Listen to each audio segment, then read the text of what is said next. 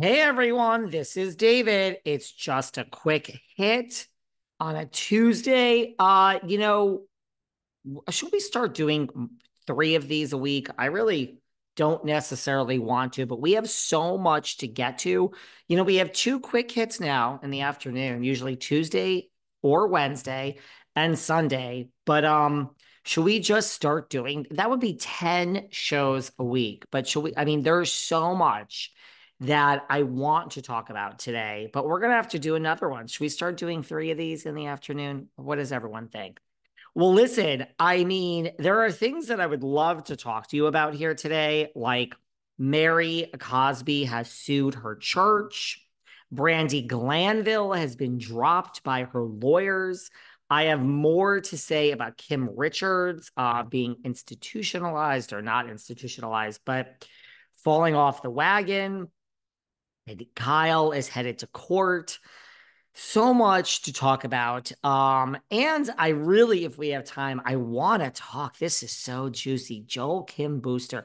You know, this is Shannon's reputation. I have heard for years and years how awful Shannon is to deal with. So I want to talk about that because apparently he's the host of Love Island um, of Love Hotel. God, I'm making a lot of mistakes this morning, but I don't think we're going to get to any of that because I just want to talk about this whole Tamra lawsuit thing. We touched upon this on Sunday in the afternoon.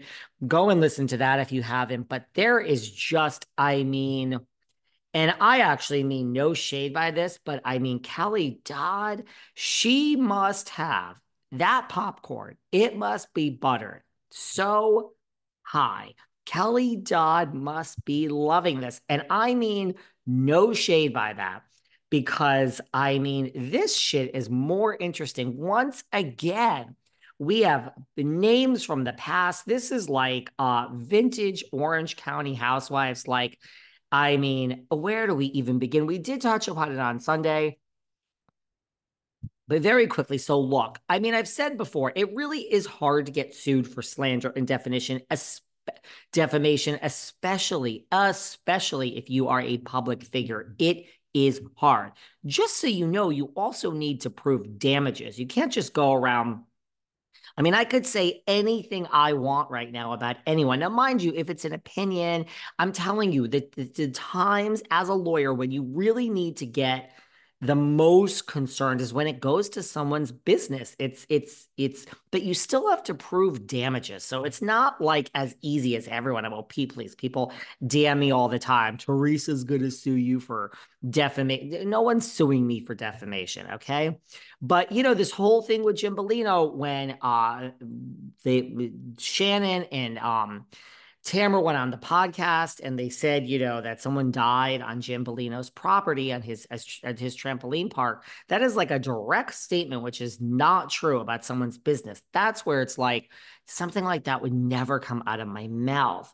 You know, where it goes to someone's reputation, it's it's like like deep, like what we're gonna get into with Kelly you know you you you it's not as strong a case as business but it does bring up issues so you know, but here we are and we have the season and Tamra's running around with her FBI hat. And whatever she says on the season, she then goes on watch what happens this week. And you know, we're going to talk about this. It's such a an unfortunate situation. Not that I'm sticking up for the rat that scurries. A cha cha cha cha cha goes the tail. And now we've learned ever since we had our psychic on that her maiden name is Waddle. I learned Tam- Tamra Sue Waddle. So the rat is also a waddling, guys. But so she goes on and she's trying to be funny like Tamra and don't get like Lisa Rinna. She's getting the pat on the back. And I'm not comparing her to Lisa Rinna because Lisa Rinna is a working actress, a Hollywood, eh, I say legend. I know everyone's going to roll their eyes, but you know, has worked for years before Housewives and is working just fine after. So I'm not giving Tamra the the, the pleasure of being compared to Lisa Rinna, but you know, I think producers are patting her on the back. I think in that sense, she is the Lisa Rinna that she is being told, you're doing a great job. No one will do this. This is the job. So, in the rat's defense, and when I say defense, I mean a tiny bit of defense. I do think there is some producer involvement here where they are saying, good girl, nobody else will go to the mat like this. So there is that. But now she does go on Watch What Happens, and she says that her business, um, yeah, I guess, you know, her CBD business makes more in a month than Ryan stole from the Dodgers player. So I get what he is saying. You know, now of so he says he's come out and he says he's hired Jim Bellino's lawyer and he plans to sue her. Let me just be clear there why are all the headlines going around that are mm-hmm. saying that Tamra has been sued? I know there's this ridiculous, ridiculous picture of a manila envelope that says Tamra Judge, which I don't even know if this is real, apparently is left on her doorstep. I mean, you don't serve someone by leaving an envelope on their doorstep. You need personal service. Also, again, if someone wants to send me a cease and desist, I will literally go to the bathroom and I will literally take a shit on it and I will literally put it in the envelope and I will literally send it back to you with the shit on it and I will write over the shit, fuck you. I don't believe in cease and desist. The last time I sued somebody, my lawyer said, Do you want to send a cease and desist? And I said, It is not my style. No. I actually had coffee with the person and smiled and said everything was fine. And then I fucking sued them.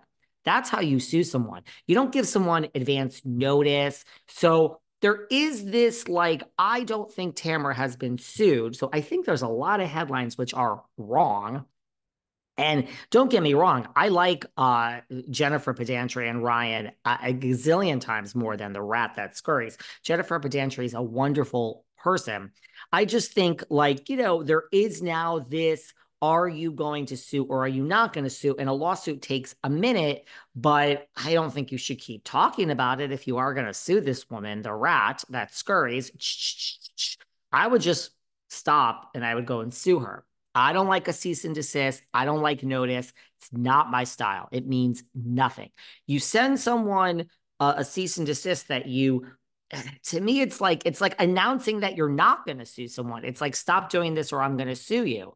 Well, now granted it costs money to sue someone, but I like I don't play around when it comes to business. So I don't think Tamra has been sued. Just FYI because there's so many headlines saying that she has. It sounds like Ryan is planning on suing her. I mean, I ain't gonna stop you from doing that. You know, Kelly Dodd, call me, girl, because I'm gonna get my popcorn ready too. So it seems like he's thinking of suing her. He's contacted Jim Bellino's lawyer. Yeah, mine as well. I mean, the guy has already has experience suing Tamra. Smart move, Ryan. Smart move. I'm all about it.